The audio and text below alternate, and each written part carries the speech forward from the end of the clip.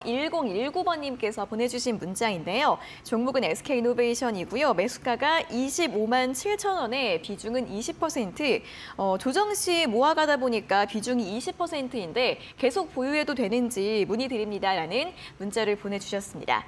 SK이노베이션 일단 오늘 종가는 16만 8천 원으로 끝이 났습니다. 어, 사실 거의 또 2021년부터 거의 2년간 하락 추세를 이어왔던 종목인데 최근에는 이 바닥 라인은 지지가 되고 있는 것으로 보입니다. 이제 다시 한번 또 어, 반등을 기대해 볼 수 있을지 궁금한데요. 전문가님 이분은 계속 보유가 가능할까요?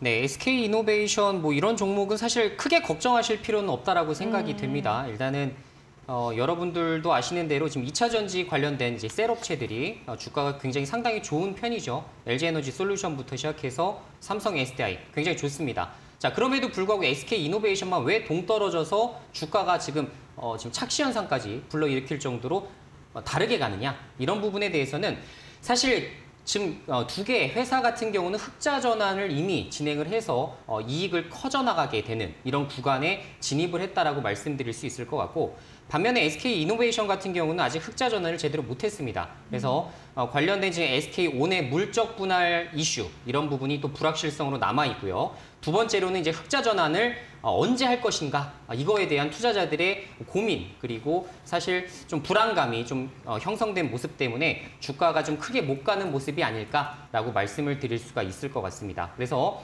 만약에 3사 중에 내가 투자하게 된다면 난 삼성이나 LG를 투자할래 라는 투자자들이 많아지고 있다는 이야기가 되거든요. 자 그러면 과연 여기서 SK 이노베이션이 과연 여- 어, 주가가 계속 우하향할 것인가에 대해서는 저는 당연히 아니라고 말씀을 좀 드려보고 싶어요. 모든 악재가 지금 주가로 다 반영된 상황이기 때문에 네. 오히려 긍정적인 어, 여러분들이 어, 비전을 보시고 투자하시는 게 좋을 것 같다 말씀을 드리고요.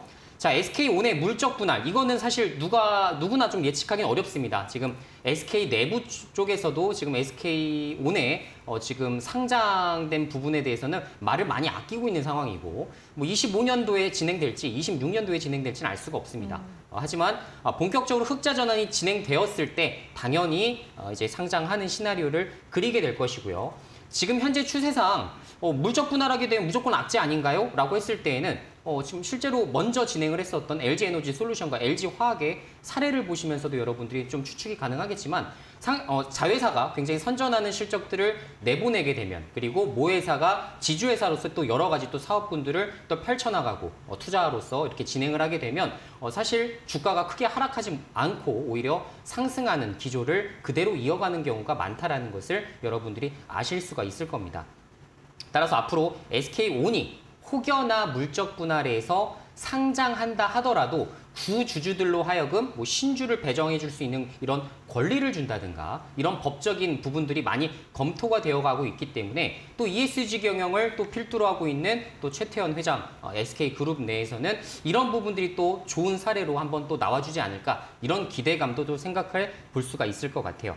자, 그래서 지금 전문가들이 생각하고 있는 건 올해 늦, 늦어도 이제 내년도에는 어, 이제 흑자 전환으로 이제 돌아설 수 있는 그런 배경이 있습니다. 따라서 지금 예, 캐파 어, 캐파 증서를 굉장히 많이 확대를 하고 있고 그리고 삼성 SDI보다도 오히려 수주 잔고가 더 많죠. 그죠? 그렇기 때문에 앞으로 LG 에너지, 에너- 에너지 솔루션과 네. 견주어서 볼 수 있는 아. 어, 이런 부분들로 내다봤을 때에는 지금 시가총액은 너무나 저렴한 수준이다. 어, 14조 정도는 너무나 저렴한 수준이라는 말씀을 좀 드려보고 장기적으로 봤을 때 저는 한 두 배 정도까지도 충분히 갈 수 있는 여유가 있다고 생각합니다. 음. 아, 그런데 그것에 이제 먼저 수반되어야 되는 움직임 중에 하나가 말씀드린 대로 흑자 전환이죠. 그래서 네. 흑자 전환이 언제 됐는지 여러분들이 분기별 실적을 잘 체크해 보면서 어, 그렇게 아, 가보시면 좋을 것 같고요.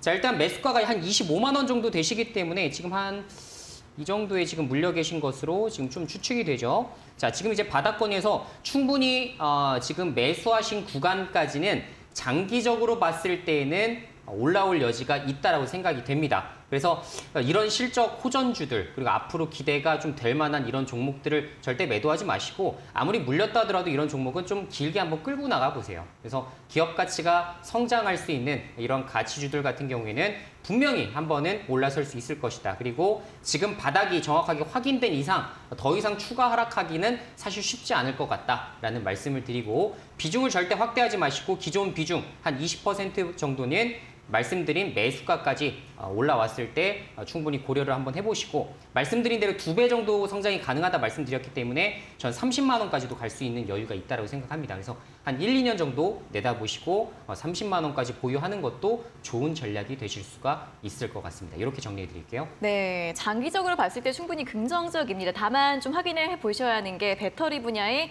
흑자 전환 여부 꼭 살펴보시고요.